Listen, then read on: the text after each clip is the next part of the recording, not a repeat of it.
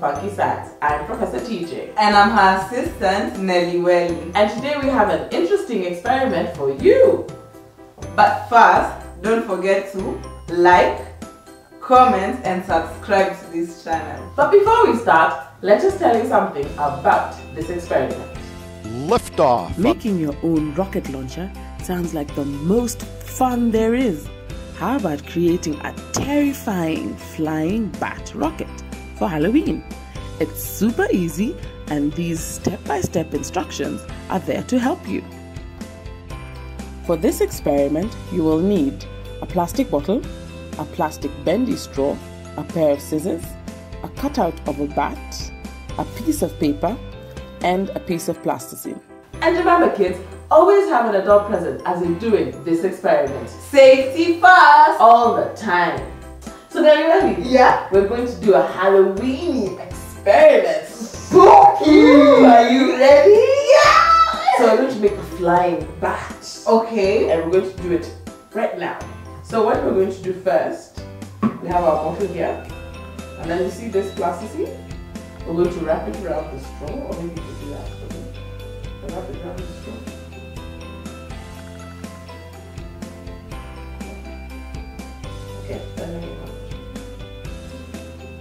Then put it inside the bottle to seal it completely. You need to seal it on. On your side, on this side? Fine. Okay. Then we're going to like tear paper, few pieces.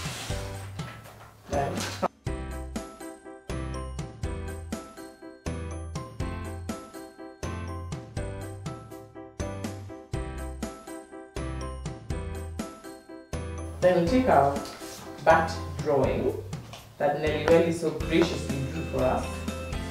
Then take some celery. Then you're going to go and try and fry the bat. Are you ready? Yeah. Yes. Totally?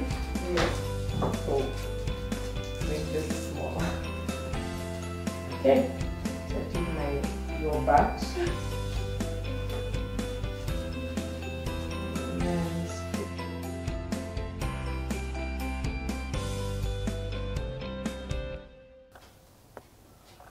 Fix it in. Looks like it has the straw looks like it has a hat, yeah? Yeah. Okay. And then How? right. Whoa! Your flying bat rocket is amazing, don't you think? And how does it operate? Well, your flying bat rocket is a nice illustration of pressure. The only way that the air can pass through is through the tiny hole at the end of your straw. Thus, as pressure builds in your bottle as you squish it up, the air passes through the tiny hole.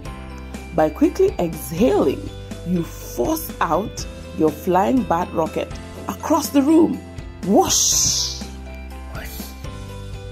I hope you at home are able to do this experiment. This is all we have for you today. See you next time on FunKe Science. Bye!